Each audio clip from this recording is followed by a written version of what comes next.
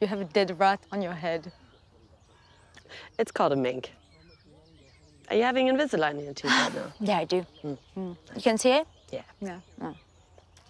Why did you went to James yesterday and you lied to him, saying that I was the one basically saying things to Miles, Which you were. which is not, Which you were. which is not, Which you were. which is not, Which you were. absolutely not. Absolutely yes. So you didn't understand. Can we can we lower the voice No, and you stick your nose in my business, Sophie, and I don't want you to do that. So why But are you because- doing that? because be focused on finding your husband. I don't on my care. mink?